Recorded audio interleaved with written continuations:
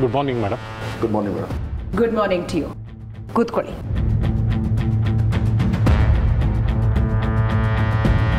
ಹೇಳಿ ಮಿಸ್ಟರ್ ನಾರಾಯಣ್.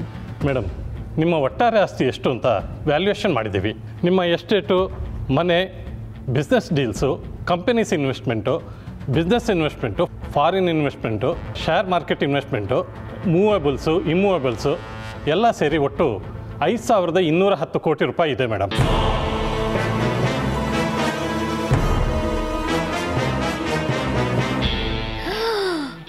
ಐದು ಸಾವಿರ ಕೋಟಿನ.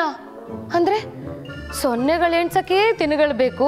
ಇನ್ನು ದುಡ್ಡು ಬಂದ್ರೆ ನಾನು ಸಾಯೋವರೆಗೂ ಎಣಿಸ್ಬೇಕೇನಪ್ಪ. ನಮ್ಮ ಬ್ಯಾಂಕ್ ಲೋನ್ ಲಯಬಿಲಿಟೀಸ್ ಎಲ್ಲ ಎಷ್ಟಿದೆ? ಎಲ್ಲ ಸೇರಿ ಒಟ್ಟು ನಾಲ್ನೂರ ಎಪ್ಪತ್ತು ಕೋಟಿ ಇದೆ. Narayan sir Aditya group of companies ಪ್ರಾಫಿಟಿಂದ ಅದನ್ನೆಲ್ಲ ಕ್ಲಿಯರ್ ಮಾಡಿಬಿಡಿ. ಸರಿ ಸರ್. ಮಿಸ್ಟರ್ ನಾರಾಯಣ್ ನಾವು ವಾಸ ಮಾಡ್ತಾ ಇರೋ ಈ ಮನೆ ಕೂಡ ಟೋಟಲ್ ವ್ಯಾಲ್ಯೂನಲ್ಲಿ ಇನ್ಕ್ಲೂಡ್ ಆಗಿದೆ ಅಲ್ವಾ? ಇನ್ಕ್ಲೂಡ್ ಆಗಿದೆ ಮೇಡಮ್ ಓಕೆ. ಓವರಾಲ್ ವ್ಯಾಲ್ಯೂನಲ್ಲಿ ನನ್ನ ಪ್ರೀತಿಯ ಮಗ ಆದಿತ್ಯನಿಗೆ ಮೂವತ್ತೈದು ಪರ್ಸೆಂಟ್ ಕೊಡಬೇಕು ಅಂತ ನಿರ್ಧಾರ ಮಾಡಿದ್ದೀನಿ.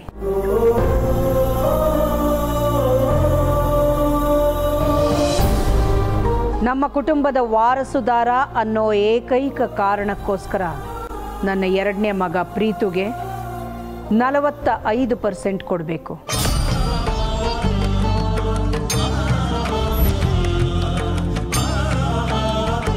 ಎರಡನೇ ಮಗನಿಗೆ ಹತ್ತು ಪರ್ಸೆಂಟ್ ಜಾಸ್ತಿ ಇದೆ ಅಲ್ಲ ಮೇಡಮ್? ಹೌದು. ಮೊದಲನೇ ಮಗ ಆದಿಗೆ ದುಡ್ಡಿನ ಬೆಲೆ ಗೊತ್ತು ದುಡಿಯೋ ಶಕ್ತಿನೂ ಇದೆ. ಎರಡನೇ ಅವನಿಗೆ ದುಡಿಯೋ ಶಕ್ತಿ ಇಲ್ಲದೆ ಹೋದರೂ ಮನಸ್ಸುಗಳನ್ನು ಒಡೆಯೋ ಶಕ್ತಿ ತುಂಬ ಇದೆ. ಅವನಿಗೆ ಯಾವತ್ತಾದರೂ ಉಪಯೋಗಕ್ಕೆ ಬರುತ್ತೆ. ಸರಿ ಮೇಡಮ್.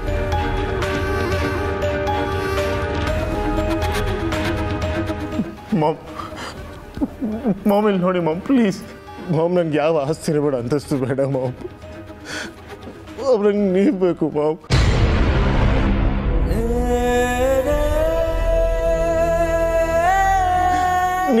ನೀವು ನಂಗೆ ಮುಖ್ಯ ಮಾಮ್ ದಯವಿಟ್ಟು ಆಸ್ತಿ ಭಾಗ ಮಾಡಬೇಡಿ ಮಾಮ್ ಪ್ಲೀಸ್ ಬಾವ್ ನನ್ನ ಮಾತು ಕೇಳಿ ಬಾವ್ bro bro please bro bro mom ಹೇಳಿ ಬ್ರೋ ಆಸ್ತಿ ಭಾಗ ಮಾಡೋದು ಬೇಡ ಅಂತ bro please bro please bro dad ನೀವಾದರೂ ಹೇಳಿ ಡ್ಯಾಡ್ ಪ್ಲೀಸ್ ನೀವು ಹೇಳಿದ್ರೆ ಮಾತು ಕೇಳ್ತಾರೆ ಪ್ಲೀಸ್ ಡ್ಯಾಡ್ ಆಸ್ತಿ ಭಾಗ ಮಾಡೋದು ಬೇಡ ಅಂತ ಹೇಳಿ dad